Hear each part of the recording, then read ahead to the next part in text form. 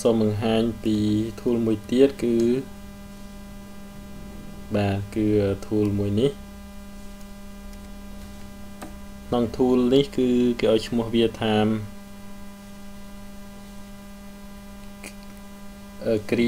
gradient gradient gradient tool ភាសា G gradient tool នេះគឺគេឧស្សាហ៍ប្រើនៅក្នុងការ design banner ផ្សេងផ្សេងនៅក្នុង tool gradient ក្នុង tool មួយនេះគឺមាន2ហើយទី2គឺ paint packet tool ចឹងឧទាហរណ៍ខ្ញុំបង្កើតក្រដាស់មួយបាទ new បាទទំហំប៉ុណ្ណេះឧទាហរណ៍បានរៀងចឹងយើងយក tool gradient tool មក gradient អសាជីរបស់វាហើយយើងចាប់ផ្ដើមធ្វើការអូសវាណា បាទចឹងយើងអូសវាមកចង់បាន background បែបម៉េចនេះគឺជាពើរបស់វាហើយមានជាច្រើនចឹងឧទាហរណ៍ថាខ្ញុំចង់បានពណ៌សកណ្ដាលយើងចុចលើវាមួយមកវាសហើយសាងខាងពណ៌លឿងណានេះគឺពណ៌លឿងដូចគ្នា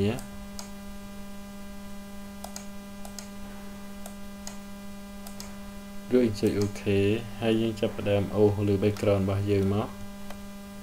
អាចុចយើងអូសទៅតឹងឧទាហរណ៍តែមកវារាំងបែបនេះទៅលើនេះចឹងយើងអាចដូរបានច្រើនយើងគ្រាន់ចុចទៅលើពណ៌ទៅហើយយើងអាចដូរមានពណ៌បែបនេះអាចអូចុចអូខេវាមកបាទ gradient tool បាទនេះគឺពន្លឺយើងចុចទៅលើវាមកយើងអាចអូសទៅគឺវាពន្លឺរង្វង់បែបនេះនេះបាទហើយខ្ញុំនឹងបែបនេះយើងអាចដូរពណ៌បានណាបាទនៅកន្លែងនេះចង់បានពណ៌អីរៀងអន្តនូអាចអូសវាបានមក ឬក៏ដឹកផ្កាយនេះ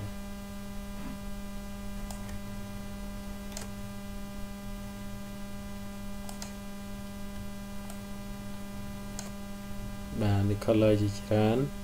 នៅក្នុងនៅក្នុងពណ៌មួយនេះគឺគេឧស្សាហ៍ gradient tool នេះគឺគេឧស្សាហ៍ប្រើទៅលើ background highlight ពណ៌ background មានជាច្រើនពណ៌បាទហើយ tool ខាងក្រោមមួយទៀតនេះគឺ pen packet tool គឺយើងសម្រាប់ចាក់ពណ៌ចាក់ background ចឹងពណ៌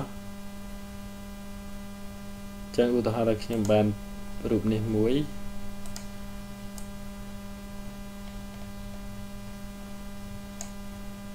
បាទខ្ញុំយកពណ៌ចាក់វាមកគ្រាន់តែចាក់អឺចុចទៅលើ pen packet tool នេះបាទខ្ញុំដោះសោមកបាទ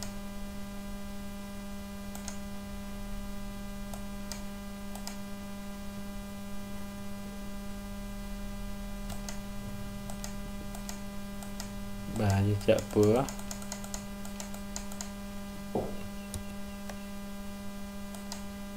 បាទ ជើងផ្ទៃស្មើយើងខ្ញុំចាក់តែម្ដងមកស្រួល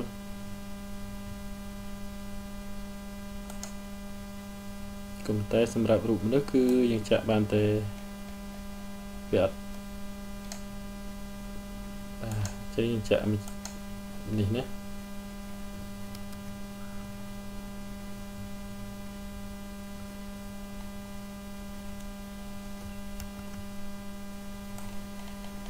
ចឹងចាក់រូបនេះម្ដង តាគឺចាក់ពិបាកមែនទែនដោយសារតែវាចាក់យកពួររត់ទៅតាមពួរបែបដូចគ្នា